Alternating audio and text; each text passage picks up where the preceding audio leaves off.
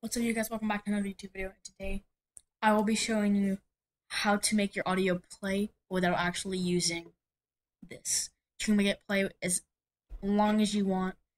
Like, I mean, before it starts playing, you can, um, like, choose how long before it starts playing instead of just, like, making it play at the beginning. So I'm going to show you how to do that. So we're going to go to the Explorer, um, right-click Workspace, um, and you're going to insert a script.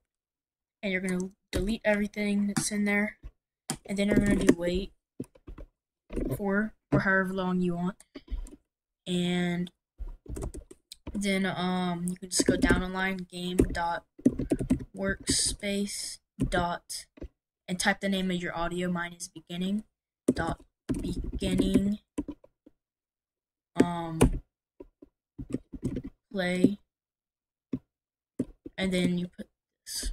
Okay, so this should make the audio play in four seconds. So if we press play, it should take about four seconds and the audio would start.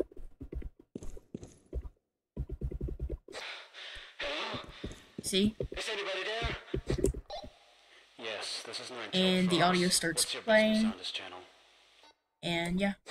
Oh, good. It's you.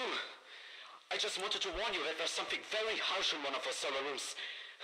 I, I tried to open the door, and for thing. Okay.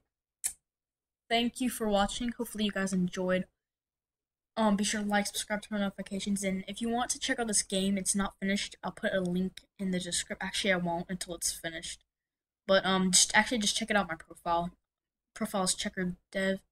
You just go there, and it's called CD's Testing Facility.